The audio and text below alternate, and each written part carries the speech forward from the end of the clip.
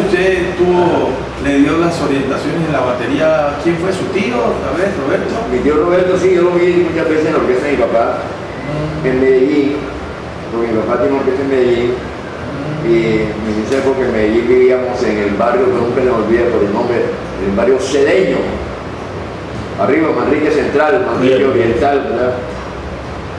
Y entonces la orquesta sí se llevaba en la casa, y el baterista era mi tío.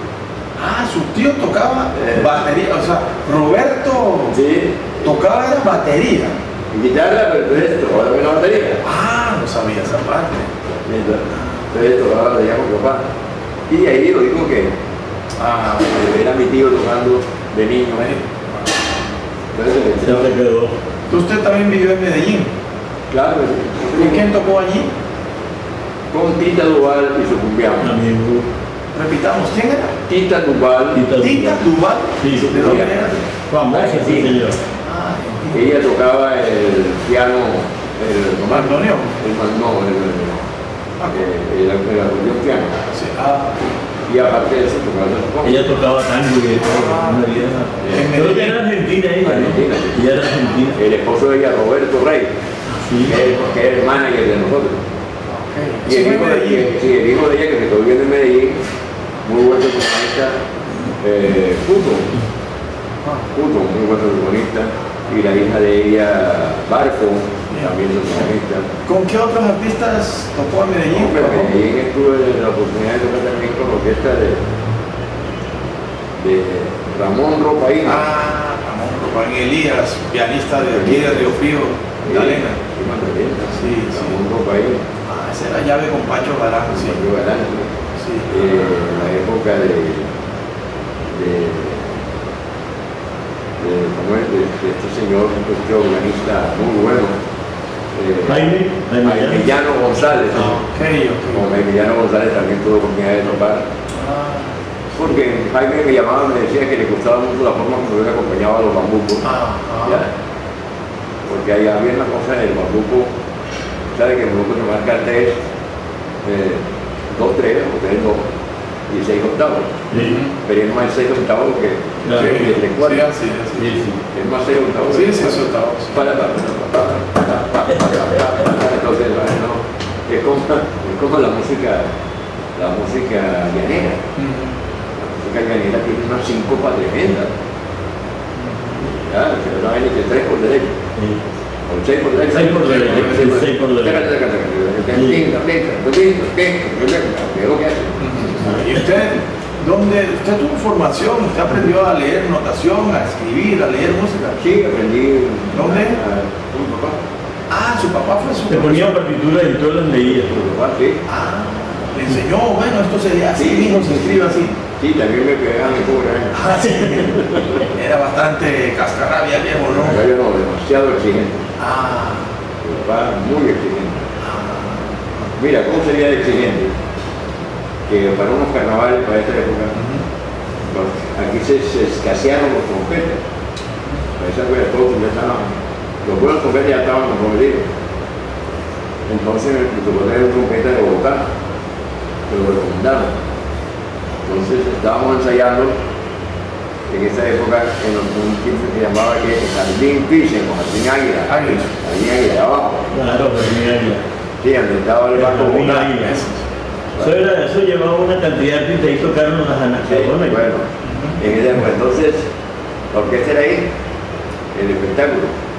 En el ensayo, el señor que vino a votar, papá le ponía el papel y, y lo leía, pero no daba el Sí, tiempo, el sabor. la- no el sabor. La medida. Sí. Leía muy bien, pero el sabor nada. Papá decía, no, así, no, así, tal. Entonces, cuando llegó la hora de almorzar, Sí. Digo, vamos, dijo el señor músico para congraciarse con el papá, le dijo, maestro, para mí es un orgullo tocar al lado suyo. Le dijo, papá, gracias, mijo, muy amable, gracias, muy amable. ¿Qué va a pedir? Pidió lo que y tal. Maestro, ¿cómo será, maestro, que yo llevo la música en la sangre? Le digo, papá, sí, pero tienes muy mala circulación. Qué buena. Ah, buena, está buena. Ah, oiga, qué bien. Bueno, entonces, eh, ¿usted trabajó con Manuel J. Bernal también, no? Eh, con el chiquenano.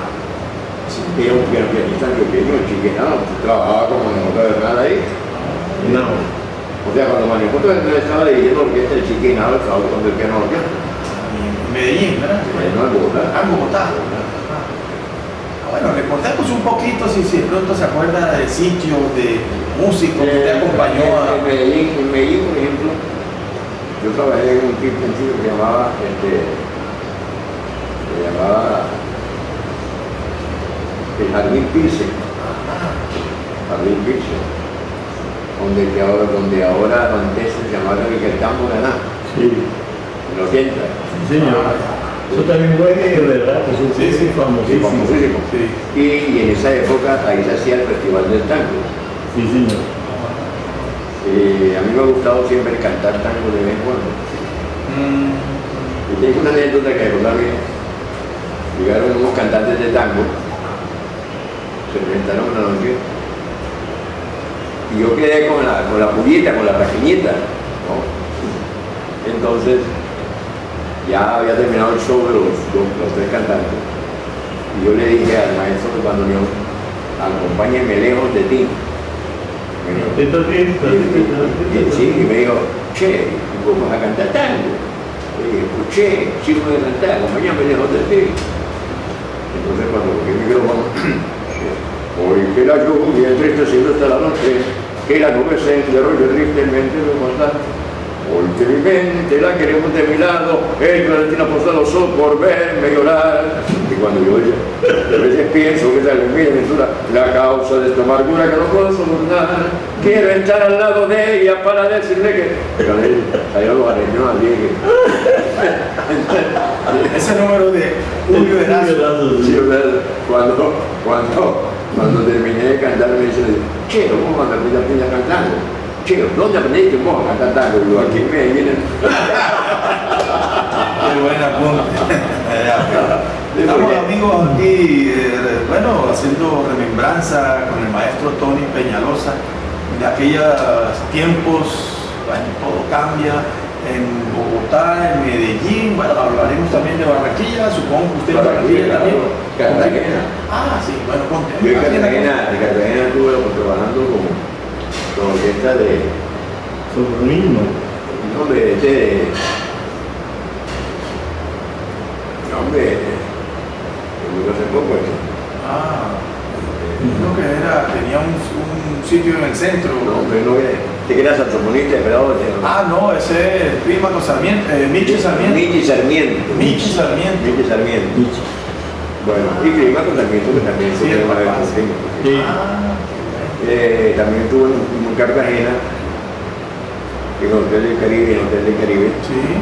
estuve un tiempo cantando ahí, eh, en Hotel Las Velas. ¿Y con quién? ¿A quién acompañaba Sí. ahí? No, ahí tenía yo un, un cuartecito, eh, pianista, un bajista, batería, yo mismo cantaba, entonces. Eh, Después estuve en un sitio de música cubana en la Casa del Pescado, de un señor apellido Gaviria, que era el, el- el dueño de las pizzerías Margarita en Cartagena. Entonces me dio la oportunidad de armar un grupo cubano ahí y volví porque tengo un excelente con un guitarrista barranquillero que ya falleció, Alfredo Recio, en descanse, ya, muy buen guitarrista. Eh, ah. ¿Y en Barranquilla, maestro? ¿A quién- ¿Con quién trabajó? ¿Qué grupo? ¿A quién acompañó?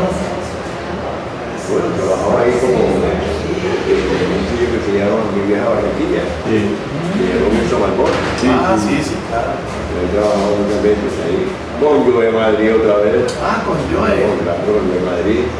Y, y cada vez Con Gabriel Rondón en Bogotá también. Usted Sí. trabajó con Gabriel Sí, sí, Rondón, sí, sí, con claro. Jaime, con Con todos esos yaceros, con Sí, pero Javier Aguilera. con- Sí, mi- mira, para sé, me puedo dar el lujo de decir, para mí es un lujo, porque en Bogotá, Medellín, Cali, eh, he tocado con los mejores músicos de este país. Ok, ok. Los mejores músicos de este país he tocado con ellos. Cali también estuvo. Sí, Ah, hace muchos años. sí, claro. Sí. En esa época que estuve en Cali, soy un peladito. En esa época, yo, yo soy, mi papá me puso en el conservatorio de música de Cali. Ah, Antonio María Valencia. Entonces, Su papá fue, digamos, su mentor en la música, pues lo apoyó. sí, sí, sí, sí, así como me apoyaba también me pegaba. Porque, Era así así. que leí, esto está mal. Uf, Ah, tremendo. Papá cuando enseñar, tremendo. Sí. Es muy exigente. Maestro, hablemos, bueno, Dios la tenga en su reino, su hermana Lucy eh, Valencia, Lucy Peñalosa, quien, bueno, Valencia. sí, Mi Lucy Pa- hermanita es la única hermanita de y madre. Ah, Eh, ella fue cantante también, Fue cantante también. papá eh, ella trabajó un tiempo con la orquesta de Albi. Sí, a días el cubano, vive todavía en Medellín. Sí. También estuvo con, en México con, con, Sonora Bonita, ¿no? no, con este, Rafael de Paz. ah, Rafael de Paz. no, en México estuvo con este colombiano, Ah, colombiano. ¿ah? que canta música costeña, pero El rey del Lucho-. Lucho Regaín. Ah, Lucho Regaín. No, Luis Carlos Meyer, ¿no? no, de los vallenatos, de los vallenatos que cargan que, de grupos populares de- Ah, de, música. Aniceto Molina. de- no, este, Eliseo Herrera. Ah, Eliseo Herrera, pero ese era el rey del trabalengua, ¿no? Sí. No, este, ¿cómo se llama? Ajá. Bueno, ella estuvo en México con ese grupo, trabajó un tiempo allá en México, Mm, sí. Y de se vino, fue cuando se vino a Medellín directamente a trabajar con el Sí, de sí. Ah, ¿Grabó con su papá? Sí. Grabó con mi papá. Claro, cuando estaba muy niña, tema Chocuán. Sí, es una niña. Sí, ella tiene unos cuatro temas por ahí que todavía los pasan en el radio de San Juan. Una cosa de la Feria de las Flores. la feria, la, la, la, la feria de la flor. Eso, sí, sí. Y otros números chocuanos, ¿no? Sí.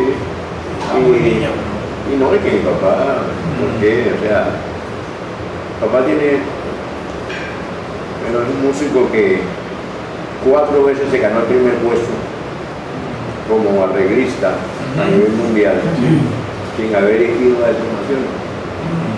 Osaka, Japón, San Sebastián, España, Moscú y Tokio. ¿Ya? Entonces, que en Moscú se gana el primer puesto, que fue cuando Leonor González Mina Sí. se volvió la negra grande de Colombia. Ah, Se volvió la negra grande de Colombia con un arreglo de una ópera que se llama Chambacú, Claro. cantada por Leonor González Mina. Entonces, de ahí, de ahí en adelante se volvió la negra grande de Colombia, por haber ganado ese primer lugar con un arreglo de Andrés María Peñalosa.